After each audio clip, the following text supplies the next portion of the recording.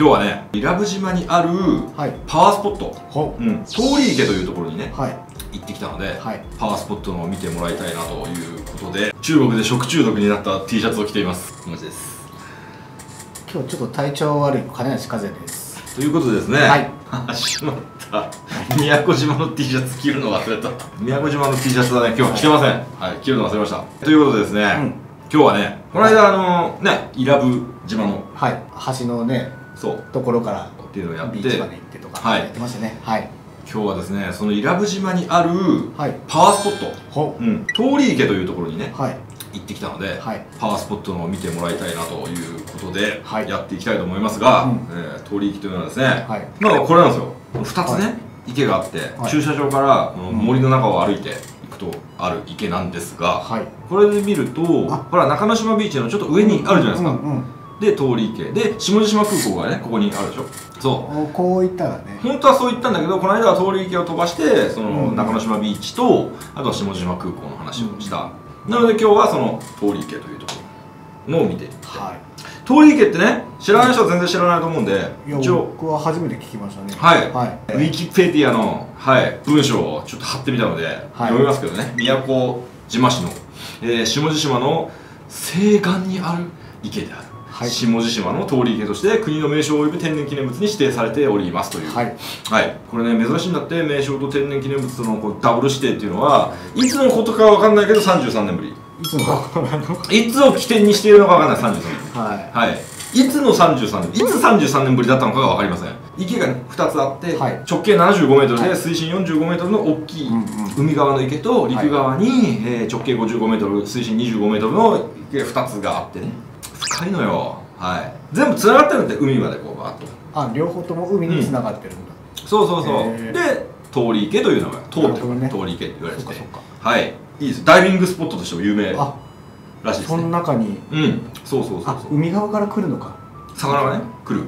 魚が来る。魚が来てもうなんかいっぱいいるらしいですよ。はいでこう深さによってですね塩分濃度や水温に差があるため多種多様な魚介類が分布しておりサーモクラインによる神秘的な景観とも相まって絶好のダイビングスポットとなっていると書いてありますね。へえうん。楽しそそう。サーモクラインってわかる？うわかんない。俺もよくわかんないけどなんかそういう あのなんだ深さで塩分濃度水温に差があるからいろんな色でキラキラキラと見えるらしいです。これ伝説があるらしいですよ。ユナイタマ伝説とユナかイタマママコ伝説とかね。ママコ伝説。はい、はい。ユナイタマ伝説っていうのは、まあ、はい。宮古島ここにね昔漁師が住んでいて、うん。でそれがジュゴンを捕まえてきたんだって。はい。でジュゴンをそこで食べましたと。助けてくれと言われたんだけど助けなかった。助けずに俺は腹減ったから食ったと。そう。そしたら八重山地震というのが起こってそれで津波が来て流されてしまいましたと、それはジュゴンのたたりだっていう。そういう伝説。おお昔話みたいなやつだよね。そのそのあたりにそういう伝説があるのね。あとねママコ伝説っていうのが。あってママコ。そうそうそう。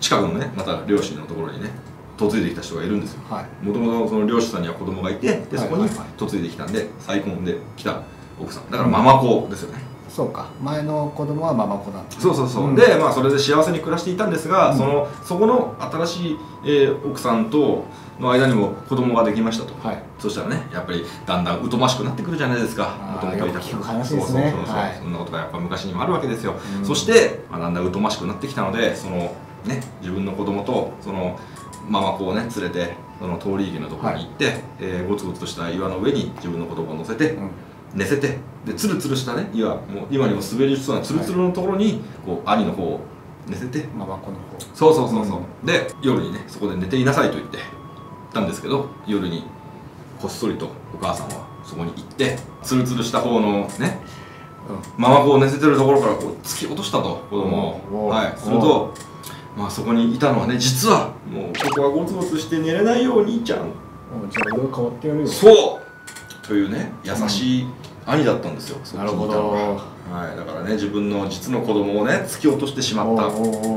その母はねうん。ショックで自分を身を投げたとこの池に。なるほどね。はい。今でも池のすぐそばにママ子台という岩場が残っているそうです。先に教えてくれりゃそれ見てくんだけどさ。調べてなかったからそのママ子台は見てません僕は。後で知ったんだ。はい後で知りました、というまあそういう伝説もある。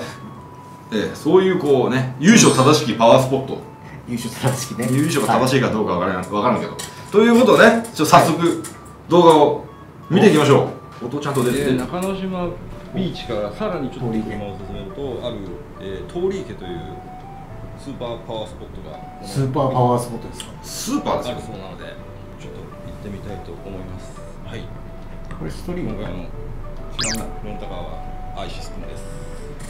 アイシスです。アイシス。メーカーまで違ですドラクエは見れません。島内しげちゃんもうちょっと後でね車乗ってからにして。ほらここが入り口。下地島通り池。いろいろね書いてあったんだけどねこの時反射して読めなかったんだよね。ジャングルっぽい。それで言うとこ？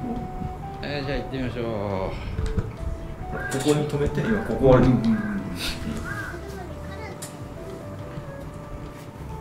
ヤシガニがいるらしいのいるんじゃないここに出現スポット的な、うん。えー、ヤシガニ美味しいっていうのね。わかんない。まずい言っあなたまずいでしょうね。ちなみに今雨上がりで気スコール後？温はたそう。30何度あるよねこれ。すごく蒸し暑いんですけど。暑い。おじさんマスクですマスクで暑いなこれがまた。足毛じゃないおじさんだあそうそうそうそう。これもうずっとねこここをうん。ずっと今歩いて。ああ出口見えてきたね。そうそう。行っているわけですが出てきてくれるけどさ出てきてくれるのヤシガニは出てきませんでしたね。食べると夜でしょ？挟まれたら切れちゃうみたい。でも昼間でもねで出てきたりするみたいで、へえこれマングローブだよね奥のやつね。だからやっぱヤシガニいるんだよ。マグロ枝分かれした住んでる。からこれはこれ早送り。これは今早送りださっき早送りだったんだけどいや、いさっきのも早5送り時ぐらい。5時だ、ちょうど。5時なのにこの暑さ。最近こういうのはちょっと暗くなってきたね。あーそうだね八幡に園の関東風化にか何言ってんだよヤバタニ園ですよあの暑さは本当に。ちょっと開けてきた。何言ってんだよ。じゃないよあやっと開けてきてね。おお海見えた。結構遠いんだね。結構。ある数百メートルみたいな感じだ結構ある、なんかの実だね。南国の実が。南国の実って言うとそうだね。あれついた通り池そうですこれ編集で読めますか？いや読めない全然読めなかったんだよねこれ何が書いてあるか全然からなかった開けたぞ。ほら開けたぞ。ここじゃん。これじゃん。これですよおお神秘的これがだからこれです、通り池。今ね左左を見てんだねうんうん。うん。すごいじゃん。色がわからない。やっぱ青なんか深いブルーでね。ううん。綺麗だったね。あー、こっちもだ。おお映り込みもいいねなんだね。ほら、鏡みたいに。いね。っちにもある。や俺これも好きなんだよな変さ蜂の巣があってさ蜂がブンブン飛んで怖いのよ。こっちにあそこにさ。あそこにベンチがあるけど、で 座れないでしょ、あれ。昔は際まで行けたんだろうねきっとね。そうそうね誰か自殺したんじゃないのこここをこう歩いてるずっと。ここ？なんかあるうん。の、これ悪いですよ池がいっぱいあるっぽくて説明がいろいろ書いてあるんだけど、なんかエイとかもへ来るみたいでいろんな魚がいるみたいなこと書いてあるんだけど分かんないのこれ何書いてあるかすげえ風化してるねねでこれどんどん先っぽの方までさバーってこのこうねこう歩いていくはいはいはいはいうんすごいでも見渡す限りみたいな、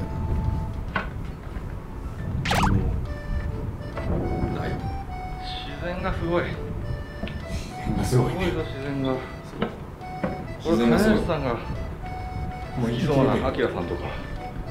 あの人たあち今谷口さんとアキラさんって言っってるんで。すごい好きそうなとこですね。たあ好き好き好き。この先あの先になんとこだね。道があるんでちょっとそこまで行ってみようと思います、で胡椒マニアってあれですよ。ペッパーじゃないですよ湖のまの胡椒ねしょうもない。しょうもないですよね。これほんと一人で歩いてる言うことないですそうだよ。誰もいないし。ほら見て。誰もいない。おおいい。ね空いうてわるすげえなこれ。すごいよ。人工物がないって言おうとしたらあそこになんかすごい回ってるやつだけど。なんかなんか空港だよあれ。と空港か。空港 ここでそうそうそうパワーをこれが人工物だったって。いう話あそこまであこれもね。ここまで行けることになってるけどこれ全部サンゴが隆起したやつだろうね。サンゴか。このサンゴサンゴが隆起して雨に打たれて酸性を溶けてこういうなんか溶岩みたいなのになってるんでヨガに見えるもんね。そういう話なんですけどすごい痛いんですよこれ。硬くて。ビーチで痛いって言ってたね。で昨日さこれ例えばのシュノーケリングの時に波に流されてこれに入れました。ガキッつって当たって切ったんだけど痛かった。塩水しみるしね。すごいでしょあすごいわ。はい。ということでほら。あもう取ったまで歩いてくるので、うん。いったいったこれぐらいで終わりたいと思います。よろしくお願いします。おお突然切れるんだねあの道ということですよ。はい林さんこんな感じでねどうですか？行ってみたくなりましたか？のいや行ってみたい。うん。毎回同じ話してるよね。行ってみたくなりましたか？うんいや行ってみたい。ってい。うはい。はい。っていう感じでやっぱそう。金梨明がね、うん。金梨明がやっぱ好きそうなもう実際言うと本当青くてちょっと澄んで蜂もブンブン飛んでて蜂の巣が近くに。蜂は嫌だな。蜂は怖かったな。だからあのベンチのとこまで行ってみようと思ったんだけど、うん。蜂がいるからあそこに蜂がいたから行かなかったそうそうそうそうそうあそうかそうか。そういう感じでしたね。はい。ぜひ宮古島に行った際はですね通り池下地島の通り池。もうああやってね案内板もいろいろあって、うん。すごい有名なところなのではい。金谷さんも行ってみてください。じゃあ行ったら同じように動画撮って彼女を連れて。くるね。うんいいよアキラでしょうがない。はい。はい、行ったら同じように動画撮ってくるって言うけどさその札幌の動画がいつまで経ってもさ 出てこないんだよ金梨の。あるよ俺のデスクトップの中に。そんな感じです今日。うん。なので、えー今日はですね通り池を見てもらいましたけど次回はもう一回パワースポットでおう。うん。宮古神社というねうん。神社がある。日本最南端の最南端のパワースポット。そう。で神社としても最南端みたいだよあそうなんだ。うん、だって宮古島だもん。最南端みたいなもん。でしょ宮古島ってすごいこっちにあるって言ってたね。場所場所いい加減覚えろよ。っていうその宮古神社の金運神社の時みたいな。はい。参拝体験。なんていうの？バーチャル参拝。楽しみに。チャンネル登録をしてお待ちください。次の動画を。ということで、えー今日の動画がちょっとでも面白かったらぜひいいねをポチリとそして、えーチャンネル登録さっき話したからもういいね。はい。はい。っていう感じで。お願いします。はい、節約大全公式チャンネルではお金にまつわるいろいろな話広い意味で節約と取れる話題であればどんなテーマでも取り扱っていますのでぜひ再生リストもご覧になってみてください。あり覚えてる金梨はい。じゃあ今日も最後までご覧いただきありがとうございました。がとうございました。体調の悪い中よく頑張ったね。すみませんでした